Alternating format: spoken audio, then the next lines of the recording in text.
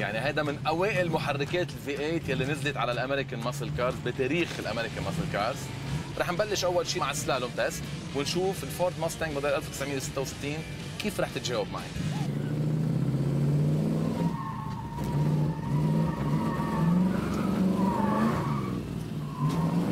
والله عن جد مش بطالة ابدا مع إنه منا power steering بدي بذكركم بس السيارة عم تتجاوب على اللي أنا عم بعمله.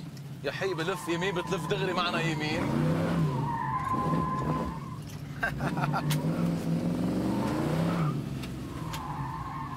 لا حلو. رح يكون أنا برأيي لكن لألا نحن هلأ. اليوم تجربة كثير حلوة. رح نتمتع بهالسيارة أكيد.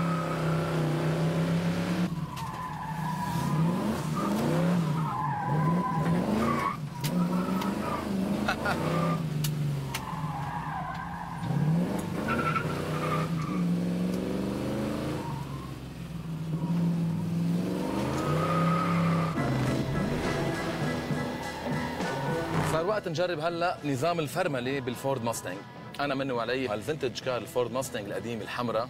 فضلت إنه احطها على جنب. already اللي عملناه فيها نحن كسلالوم كان بزيادة. هلأ صار وقت نكمل نحن بال Ford Mustang الجديدة لنعرف التأدية تبعها كيف.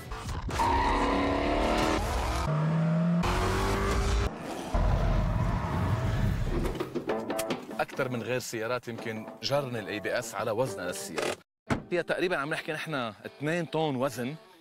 نتوقف لتوقف تام على سرعه 100 كم بالساعة بدها مسافة طويلة.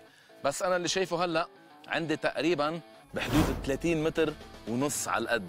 يعني 30 متر فاصلة 50 سنتيمتر بس قدرت توقف ال Ford Mustang مع إنه أنا حسيتها من جوا يمكن أكثر لأنه ال ABS بقى يشتغل وحاسه عم يدفشني. فرمله لا بأس بها أكيد.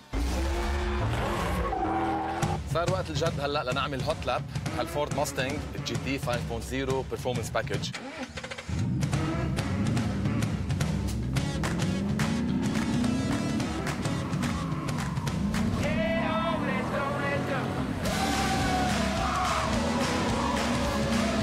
وقت نقول نحن timing يعني ما بدنا نعمل drift كثير أكيد حتى ما نخسر وقت.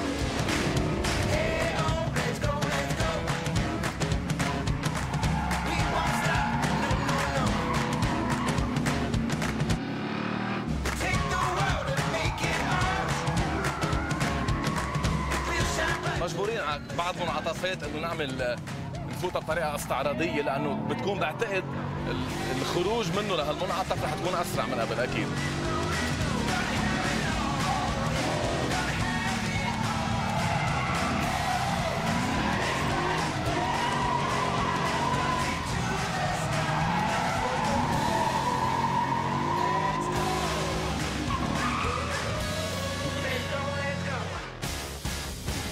نعمل 47 ثانية فاصلة أربعة.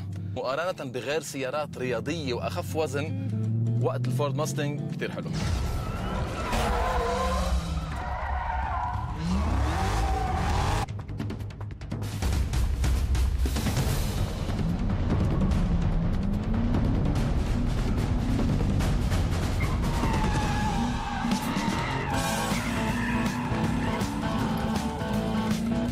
على الجير الثاني. السيارة فيها عزم كتير كبير. بتخليها تساعدني نقدر اتخطى كل هول الكونات.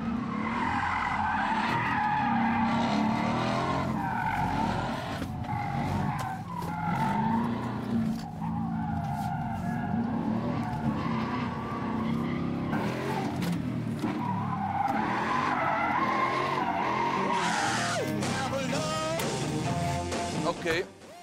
أنا بفهم إنه بالسلالوم كانت تقريبا نتيجتها لل Ford Mustang الجديدة مقبولة لأنه ما ننسى طولها هو أكثر شيء بضرها بس نظام الفرملة أنا هون بلشت يمكن شخشب شوي صغيرة.